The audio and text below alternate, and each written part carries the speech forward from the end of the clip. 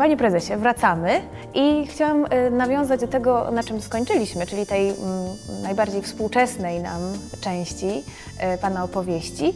Y, Poszczególnie cieszyły Pana na przestrzeni lat, z tego co zdążyłam się zorientować w, w historii naszych cyklów wspólnie zrealizowanych, to co udało się osiągnąć przy ujęciu wody Czyszkówko. Tak, projekt modernizacji ujęcia wody i stacji wodociągowej Czyszkówko, a w szczególności projekt budowy ujęcia sztucznej infiltracji to jest największe osiągnięcie e, naszych projektów inwestycyjnych, największe osiągnięcie wodociągu w ostatnim okresie 20 lat, ale też zdaniem pana profesora Sozańskiego największe osiągnięcie technologiczne w okresie powojennym, jeżeli chodzi o uzdatnianie wody. Bo my w dużych miastach jesteśmy skazani na wodę powierzchniową, o różnej jakości, często zmiennej jakości. Dosyć długo się zastanawialiśmy, jaką technologię wybrać. Wybraliśmy ostatecznie technologię opartą na procesach naturalnych, które w naturze funkcjonują w bardzo wolnym tempie. My ubraliśmy te procesy we współczesną technikę e, oprzyrządowania, automatykę i ich- prędkość przebiegu zwiększyliśmy. W efekcie uzyskujemy z wody powierzchniowej pobieranej z rzeki Brdy wodę o charakterze wody podziemnej, ale to jest dopiero przygotowanie półproduktu do finalnego, jakim jest woda do picia. Ta woda właśnie tak przygotowana poprzez te naturalne procesy e, zachodzące e, w toni wodnej w stawach e, infiltracyjnych, to są procesy biologiczne, ale też aktywna błona biologiczna na dnie stawów i w warstwie poddennej, czyli cały czas kontynuacja procesów biologicznych, redukcji związków organicznych w wodzie powierzchniowej. Dalej bardzo ważny, złożony układ procesów fizykochemicznych, które przebiegają na drodze przepływu wody w warstwie wodonośnej. To jest przeciętnie około 100-120 metrów. Tam woda jakby jest pozbawiona resztek zanieczyszczeń organicznych, jest wzbogacana o sole mineralne, których ma za mało. Dalej jest y, y, korygowana jej temperatura, regulowana temperatura, czyli zimą podgrzewamy do około 8 stopni e, z prawie zera, latem chłodzimy z około 20 stopni, 25 do 12-14 stopni, bo temperatura wody decyduje bardzo mocno o jej walorach smakowych. I tak Zgadza się. przygotowana woda, dopiero półprodukt, abyśmy już chcieli jej się napić, e, jest y, pobierana i uzdatniana w finalnych procesach na stacji Czyszkówko. Są to przede wszystkim napowietrzanie i filtracja przez wielowarstwowe złoże filtracyjne dla pozbawienia wody y, nieakceptowalnych związków żelaza, w szczególności, które dla zdrowia szkodliwe nie są, ale powodują plamy na białych przyborach sanitarnych, na, na białych koszulach na przykład, dlatego te zanieczyszczenia redukujemy. Później bardzo ważny, chyba najskuteczniejszy, bardzo ważny w kontekście też przyszłości proces ozonowania, inaczej utleniania wszelkich zanieczyszczeń, które mogą się w wodzie jeszcze znajdować po tym skomplikowanym układzie procesów biologicznych i fizykochemicznych. E, Rozkładamy wszystko w wyniku tego utleniania do wody i dwutlenku węgla, czyli takich naturalnych składników natury. I tak przygotowana woda jeszcze nie jest gotowa do picia. E, Końcowe klarowanie polega na filtracji tej wody przez złoża z węgla aktywnego o bardzo dużej powierzchni aktywnej. E, Poprzez tą filtrację usuwamy wszelkie możliwe zanieczyszczenia, jakie mogą być, resztkowe produkty, e, na przykład ozonowania wody. I to jest dopiero finalny produkt, który jest wodą o jakości wody do picia. Ale to jeszcze nie koniec. Ostatnim procesem jest proces dezynfekcji wody. To jest proces profilaktyczny, który ma zabezpieczyć wodę przed możliwym zanieczyszczeniem w sieci wodociągowej y, na drodze przepływu wody od uzdatniania do klienta. To jest ponad 1000 km sieci. Stąd jest dezynfekcja chlorem, to jest wy- wymóg przepisów, ale to daje nam profilaktykę, y, jeżeli chodzi o bezpieczną wodę w zakresie wskaźników bakteriologicznych. I dopiero taki produkt jest dostarczany siecią zmodernizowanych przewodów wodociągowych do naszego kranu i ta jakość po uzdatnianiu w kranie jest praktycznie taka sama. I stąd czyszkówko, jako ten układ siedmiu barier, bardzo skutecznie dziś, ale też, co trzeba powiedzieć, ten układ technologiczny ma taką zdolność buforową na potencjalne przyszłe inne zanieczyszczenia, jakie się mogą pojawić w wodach, o których jeszcze może nawet dzisiaj nie wiemy. One są również redukowane i one, y, ten układ jeszcze jest y, tak y, y, doskonały, że z roku na rok skuteczność uzdatniania wody się poprawia. Na skutek jakby kolmatacji układu warstwy wodonośnej, czyli bardziej skuteczne odfiltrowywanie tej wody. Także mamy doskonały układ uzdatniania wody oparty o procesy naturalne. Woda jest naturalna, nie ma żadnych dodatków chemicznych e, i jest gwarantowana jej jakość, stabilna jakość co najmniej na 2-3 pokolenia, bo taki był zamysł przy konstruowaniu technologii i tego układu uzdatniania wody. I dlatego Państwo nie mogą mieć jakichkolwiek obaw odkręcając kran i pijąc bydgoską wodę, czy to z ujęcia Czyszkówko, jeśli do Państwa dociera, czy też z ujęcia Las Gdański. Sami Państwo słyszą, jak skomplikowany, trudny i mm, jak nowoczesny jest cały ten technologiczny ciąg, który sprawia, że mamy taką jakość wody w kranach. A jako ciekawostkę, bo przyznam szczerze, że mnie, na mnie to zrobiło ogromne wrażenie i chciałabym się tym podzielić z widzami, było to, jak dyskretna jest cała ta technologia, jak ona jest, e, no bo jednak stawy i te całe zbiorniki e, mieszczą się pod lasem. I tak naprawdę widzimy, jedziemy sobie drogą, widzimy połacie lasu z jednej strony, bo ktoś sobie może wyobrazić gigantyczne przestrzenie jakichś stawów, jakieś dziwne budowle, a to jest sama natura. Tak, niejako oczywistym jest to, że y, zastosowaliśmy procesy naturalne, procesy biologiczne, które występują w naturze, bo nasz, istotą naszej działalności jest y, troska o ekologię, o środowisko naturalne. Bez czystego środowiska nie ma czystej wody, nie ma zdrowej, bezpiecznej wody w kranie e, i w efekcie również, jeżeli chodzi o ścieki, usuwanie zanieczyszczeń, oczyszczanie, też nie ma czystego środowiska, jeżeli tam nie ma też procesów i my też stosujemy generalnie procesy naturalne, które w naturze występują. E, w przeciwnym wypadku byśmy tą naturę które zanieczyszczali. No niewyobrażalna sytuacja taka, że przygotowujemy wodę, uzdatniamy wodę, a niejako obok zanieczyszczamy środowisko. Tak, Stąd tak. świadomy wybór właśnie tej technologii. Tam były jeszcze inne uwarunkowania e, związane z tym, szczególnie jeśli chodzi o bezpieczeństwo i pewność e, źródła. Rzeka jest zmienna temperatura, są zakwity, y, rzeka to jest żywa, są y, zakwity, powodują, że powstaje bardzo duża ilość glonów, bakterii, które powodują, że ta woda nie nadaje się jako surowiec i my mamy tak to zaplanowane, że w tym czasie przerywamy pobór wody z rzeki.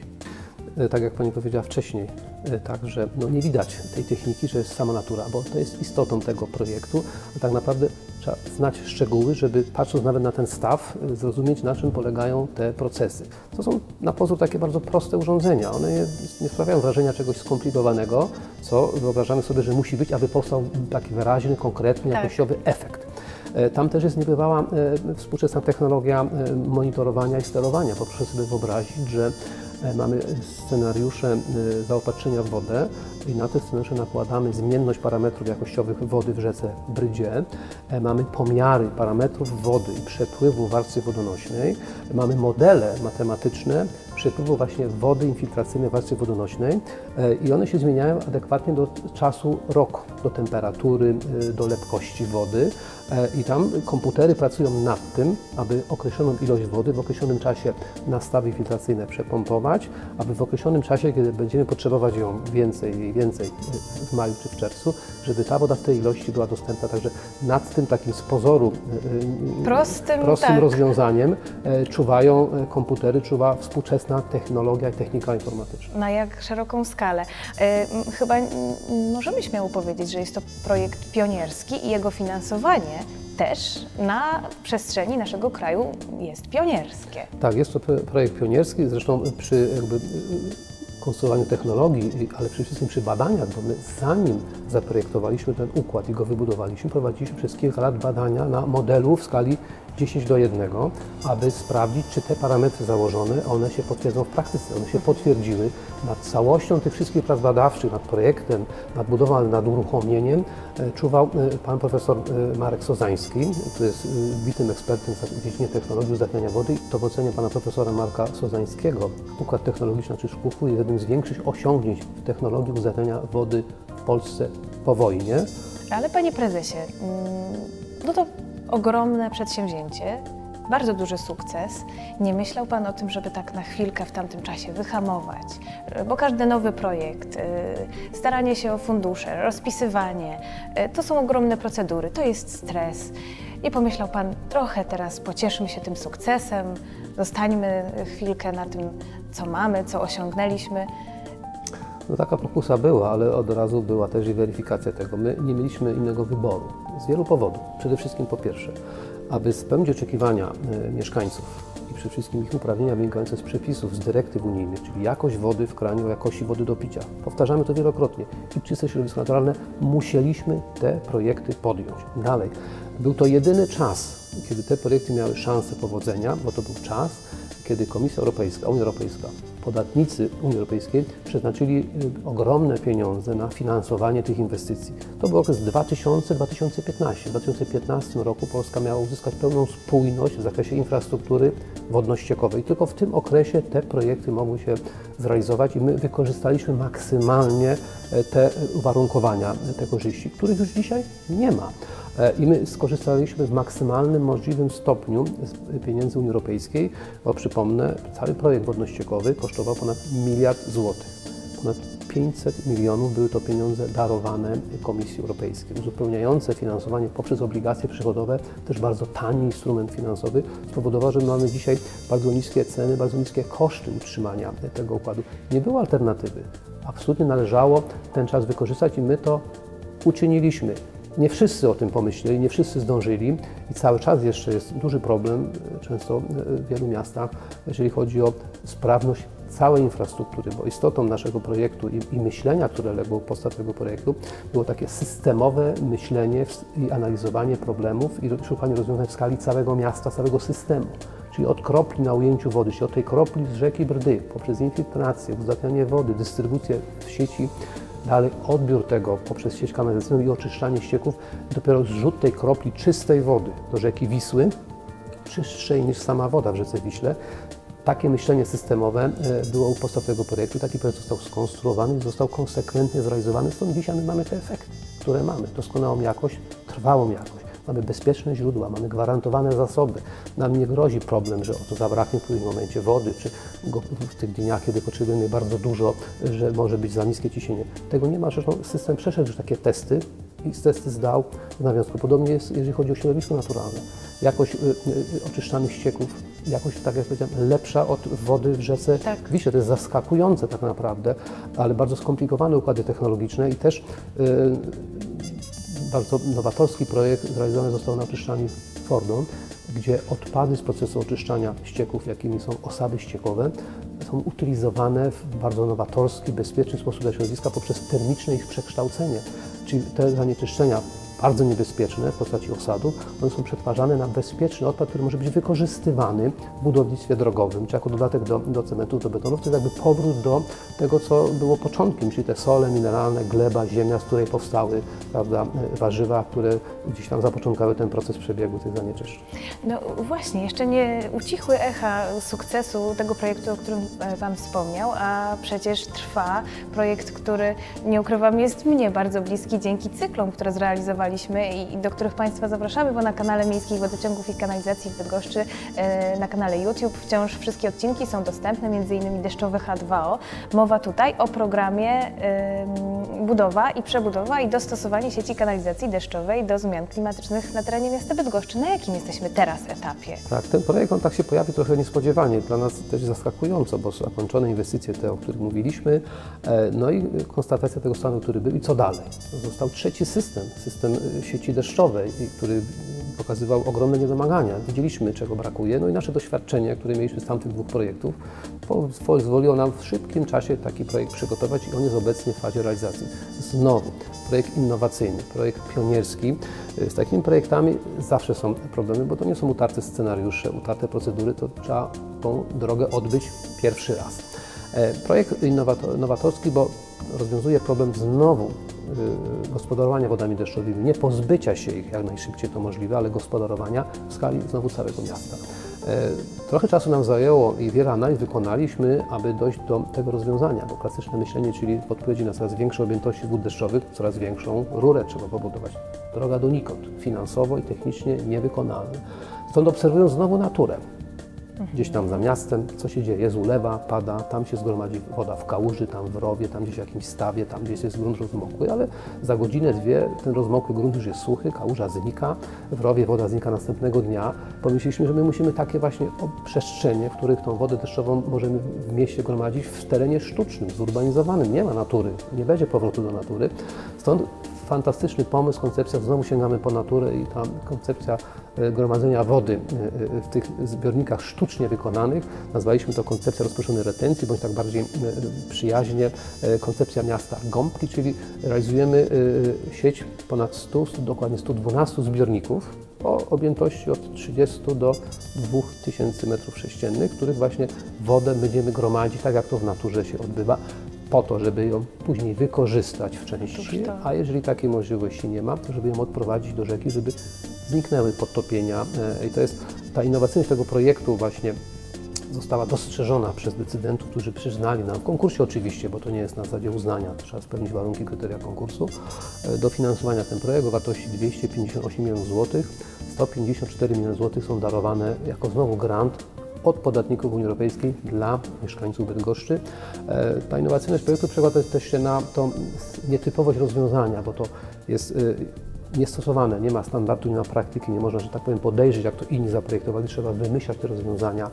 E, I tutaj są pewne, pewne, pewne problemy. Tu trzeba mieć takie otwarte myślenie i trzeba zastosować znowu metodologię i standardy i zasady sztuki inżynierii sanitarnej i to się da rozwiązać. Problem też wynika z samą organizacją tego procesu projektowego i e, e, budowlanego odmienny niż do tej pory. Y, że oto to nie jest jedna wielka inwestycja o tej wartości realizowana w jednym miejscu. To jest stosunkowo łatwe, aczkolwiek też nie, bo wielka skala. Natomiast my realizujemy inwestycję o małej bądź średniej bądź dużej skali w 157 punktach, czyli trzeba powtarzać procesy projektowe, procesy organizacyjne, procesy realizacyjne 157 razy i jeden błąd on się później multiplikuje, się powtarza. Na czym polega trudność? Ta innowacyjność, która jakby jest trudnością, ale jestem przekonany, że to pokonamy te przeszkody. Jesteśmy wszyscy bardzo, bardzo mocno doświadczeni. doświadczeni, tak, zmotywowani, zdeterminowani e, I, i, ten cel jest przed nami. Oczywiście pierwsze realizacje już są, pierwsze efekty już obserwujemy. Będziemy chcieli je w przyszłym roku po tym sezonie takim letnim y, pomierzyć i pokazać, co planowaliśmy, a co uzyskaliśmy, czy to jest właśnie to. Co zatem czekamy. A ja jeszcze na zakończenie nie mogę się oprzeć, y, aby nie zapytać o ceny, bo jest to teraz y, gorący temat. Ceny wszystkiego są na ustach wielu z nas doświadczamy podwyżek, ale w przypadku wody bydgoskiej ceny albo utrzymują się na tym samym poziomie, albo wręcz są niższe. Czy koledzy z innych miast, y, prezesi wodociągów nie pytają Pana, jak to się robi? Pytają, wtedy odpowiadam, przyjedźcie do Bydgoszczy, to Wam opowiem, jak to się robi, pokażemy. E, e, to nie jest łatwe, chociaż my mówimy, że dla nas to jest bułka z masłem, bo przepraszam, jeżeli e, e, stosujesz właściwe metody i metodologię, no musisz się na tym znać. Myślisz kompleksowo, myślisz w sposób taki profesjonalny, od strony inżynierskiej, ale też organizacyjnej i finansowej, bo trzeba o wszystkim pomyśleć dokładnie, no to ten cel osiągasz. Nie to, że coś się udało. Jeżeli masz plan, jest deficyt czegoś, przygotowujesz plan i wykonasz konkretną pracę, efekt jest. Ale tu było ważne jeszcze przy naszych projektach, wielkich inwestycjach, miliard, w sumie łącznie ze wszystkim miliard 400 milionów złotych, 700 milionów ponad darowanych pieniędzy. Ważne było działanie, które było jest prowadzone równolegle, tak trochę po cichu. My o tym nie mówiliśmy wiele. Co to za działanie? To jest restrukturyzacja przedsiębiorstwa. Tak naprawdę należy powiedzieć sanacja, odnowienie. Bo istotą tego projektu jest to nie tyle rozpoznanie problemu, nie tyle znalezienie rozwiązania, dobrego rozwiązania, najlepszego rozwiązania, później konsekwentne wykonanie, też pomyśleć, zadbać o to, żeby to było finansowo bardzo atrakcyjne i korzystne, żeby było to akceptowalne w sensie możliwego finansowania, ale później co? Obiekt musi być eksploatowany, użytkowany. Ważne jest, żeby przedsiębiorstwo, w tym przypadku wodociągi, miało zasoby umiejętności możliwości, żeby w sposób prawidłowy tym nowoczesną infrastrukturą, tym nowoczesnym majątkiem zarządzać, żeby go eksploatować prawidłowo przy braku doświadczeń, bo to jest, są kompletnie nowe jakości. Nie ma wzoru, które można by powtórzyć, jak się eksploatuje, zarządza, remontuje, modernizuje ten czy inny element systemu wodociągowego. To jest przecieranie tej drogi. My to wymyślamy, my to mhm. weryfikujemy i ten równolegle prowadzony projekt od 2000 roku to jest projekt restrukturyzacji spółki, zainicjowany i, i, i jakby e, wspierany przez Europejski Bank Odbudowy i Rozwoju na wzór e, standardów e, stosowanych w Wielkiej Brytanii, gdzie sektor wodociągowy został poddany takiej dosyć mocnej, konkretnej weryfikacji, restrukturyzacji. Na początku tych projektów w 2000 roku nasze przedsiębiorstwo zostało ocenione przez specjalistów firmy doradcze z Wielkiej Brytanii poprzez 94 wskaźniki efektywności z adekwatną firmą wodociągową w Europie Zachodniej. Nie wiemy z jakiego to jest miasto, porównywać skali działalności i tam poprzez wskaźniki było widać, w których obszarach odstajemy i co trzeba zrobić, łatwo było ustalić, żeby tą efektywność uzyskać. I ten proces został e, e, przeprowadzony, konsekwentnie zrealizowany. EBOR ocenił rezultaty tego w 2013 roku. E, Cytuję opinię e, 21 dyrektorów, którzy przyjechali do Bydgoszczy oceniać restrukturyzację sektora wodociągowego w Polsce jako jedyne miasto, że to był najlepszy projekt EBOR-u, jaki EBOR realizował w sektorze wodociągów i kanalizacji. To były najlepiej wydane pieniądze, jakie wydano w Bydgoszczy. Co to daje, bo tak daleko odbiegliśmy? W konsekwencji tego projektu dzisiaj realizujemy kolejną fazę, czyli wdrażamy i stosujemy w praktyce metody zarządzania procesowego, które służą optymalizacji prowadzenia procesów cząstkowych małych, uzdatnianie wody, dystrybucja wody, usuwanie awarii, konserwacja tych procesów są setki. I metody, które stosujemy, metody e, lean management, wymyślone, które dały sukces Toyocie i firmom dzisiaj komercyjnym na całym świecie, które służą optymalizacji i redukcji zbędnych kosztów. I takie systemowe działanie powoduje, że my mamy kontrolę nad kosztami i potrafimy po nie sięgać, potrafimy je redukować do tego niezbędnego poziomu, dalej też planować inwestycje we właściwej skali, nie w tej wielkiej miliard 400, ale w tej adekwatnej, żeby ten wysoki standard infrastruktury, jaki uzyskaliśmy, utrzymać w sposób ciągły. I to jest odpowiedź na pytanie, dlaczego e, Poszczególny mieszkaniec Bydgoszczy nie odczuwa. te koszty nie rosną, dlaczego my Tak. mamy nad tymi ko- kosztami kontrolę i ten projekt był konsekwentny i jest i będzie realizowany. Przypomnę, 9 lat minionych cena była na tym samym poziomie, nie do końca. 3 lata temu obniżyliśmy tą cenę o 6-7%. Projekt, który złożyliśmy, on nie jest jeszcze formalnie e, e, uruchomiony, jeżeli chodzi o taryfę, e, zakłada utrzymanie tych samych cen, łącznie woda i ścieki, czyli możemy powiedzieć, że w Bydgoszczy przez 12 lat będziemy mieli cenę usług wodno-ściekowych e, razem e, e, ujmowanych na tym samym poziomie, nawet obniżone o te 6-7% po drodze. I nie byłoby to możliwe, gdyby nie takie systemowe myślenie, gdyby nie kompleksowe, dobrze przemyślane projekty, gdzie się poszukuje najlepszych rozwiązań, ale w sumie kosztów właśnie również tanie w utrzymaniu w eksploatacji. No i ważne, żeby to było przedsiębiorstwo, tak jak e, e, Ebor na początku powiedział bardzo krótko, ważne jest, żeby przedsiębiorstwo, które e, zarządza e, tym e, majątkiem, e, działało w sposób efektywny i żeby to nie było zdarzenie chwilowe, że realizujemy projekt i mamy, żeby ten mechanizm ciągłego usprawniania, ulepszania, weryfikowania, udoskonalania e, był mechanizmem stałym, który będzie funkcjonował dzisiaj, za rok, za 10, 15 i 20 lat. I to jest istotą e, te, naszego przedsięwzięcia, naszego sposobu myślenia i działania. Rezultaty to są właśnie takie chociażby w obszarze ceny, widzimy ją jakie są E, i myślę, że to o to w tym wszystkim chodziło. I tą dobrą wiadomością żegnamy się z Państwem. Bardzo dziękuję za dzisiejsze spotkanie i Dziękuję bardzo.